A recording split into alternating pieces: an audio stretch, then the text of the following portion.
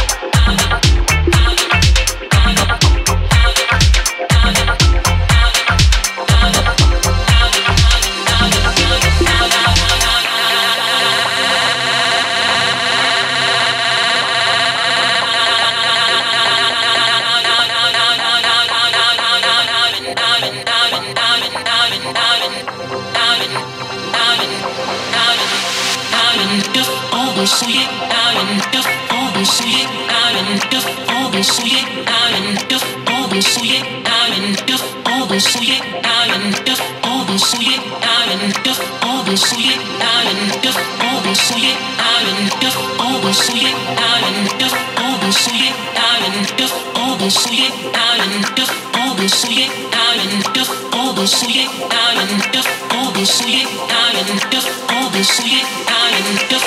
this sweet.